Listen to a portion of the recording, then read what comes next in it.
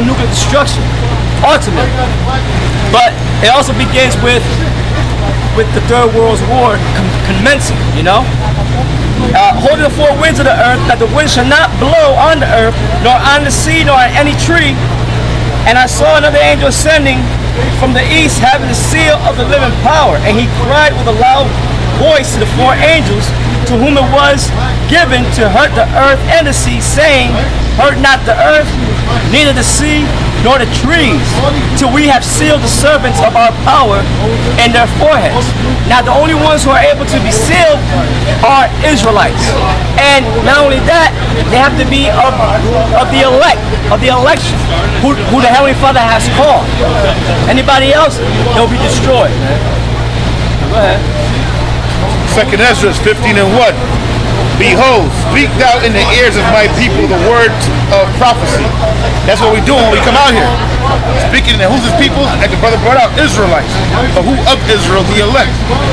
We're speaking in their ears the words of prophecy. Why? Why is it important for them to know prophecy? To know the times we're living in and to know to come back under the banner of Yahweh Bashim Yahweh Shai to be saved out of it. Alright? It says, which I will put in thy mouth. So the words that we're speaking are our own words, man. This is the words of the Heavenly Father. Yeah. And we're speaking it out on the streets. All right? Yeah, we do studio shows and, and, and things like that, but the main thing is prophesying out on the streets. Yeah, it's a part of the word getting know? out.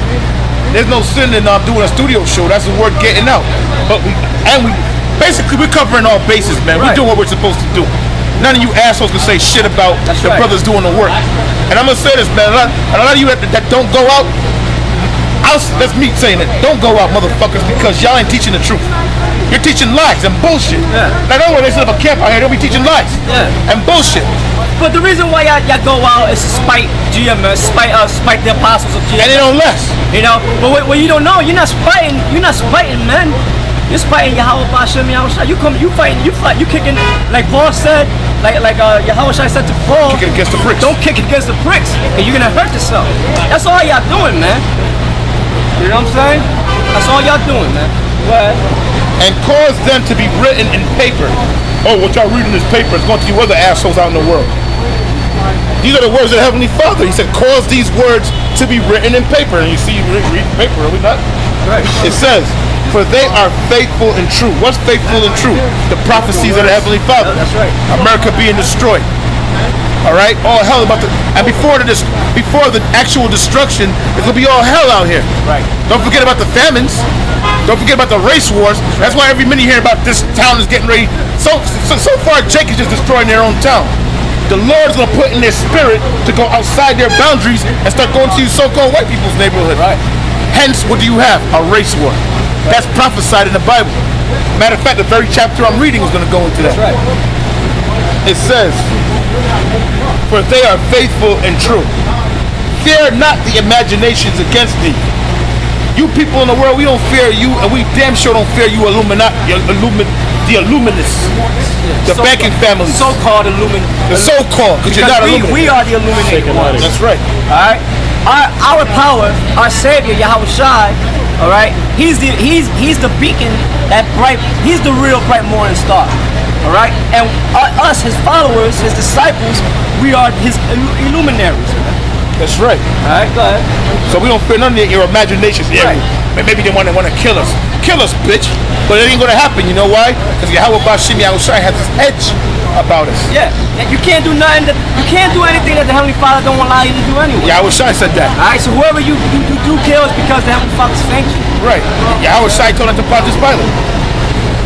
It says, Fear not the imaginations against thee, let not the incredulity of them trouble thee. Incredulity meaning the unbelief. Because you don't believe this, that don't bother us. So we're out here for the elect. We know, and we know that the, the Lord's men is a few in number. It says that speak against thee. For all the unfaithful shall die in their unfaithfulness. And who who they don't speak more against the GMS on the internet. But we're not the men of the Lord though. Right. You are the assholes. You get praised by the world. We are hated. That's where we want to be. It says, For all the unfaithful shall die in their unfaithfulness. Behold, saith the Lord, I will bring plagues upon the world. plagues, meaning diseases. It says the sword, which the modern day sword is guns, machine guns, AK-47s, bombs, Sonic weapons. sonic weapons. They have weapons Lasers. now. They have weapons now that will take your whole flesh out and just leave your clothes. Yeah. That's just 15. I'm gonna start at uh, four again. For all the unfaithful shall die in their unfaithfulness. Behold, saith the Lord, I will bring plagues upon the world. It said, it said, behold, all the unfaithful shall die in their unfaithfulness. This is the Lord's.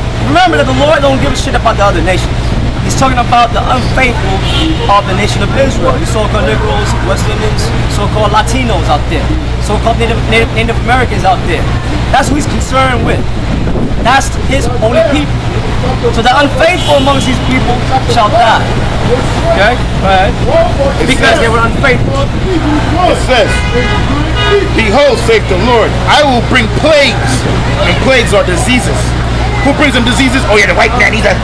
Who put it in the white man's mind to do that? The heavenly Father. He controls all thoughts. Thank you. You know what they did? You know, you know they released live and this week. There's been a lot of shit happening this week, man. That's why brothers gotta stay awake, man. Stay awake.